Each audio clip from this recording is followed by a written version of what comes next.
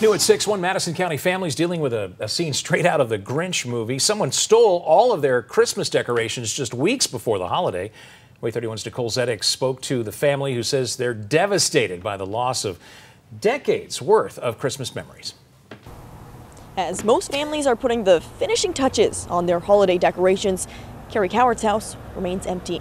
On Friday, her storage shed was broken into, and thieves took years worth of nativity scenes and handmade ornaments. She's still calculating the total value of the stolen items, but it's items like this that have been passed down from generation to generation that Carrie says is the greatest loss. All of the decorations were packed up in bins, and Carrie's guessing the burglars took as much as they could carry without actually looking at what was inside. Once they see the items have more sentimental value than monetary, she's hoping that these will get rid of the decorations.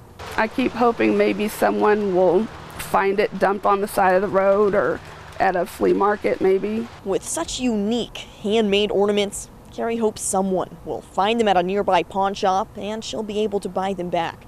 Carrie has filed a report with the Madison County Sheriff's Office, but the problem is she doesn't know the exact date that the crime took place. She hadn't been to the shed in about a month, leaving a large gap, a window of opportunity for those Christmas thieves to come in and take all of her sentimental belongings.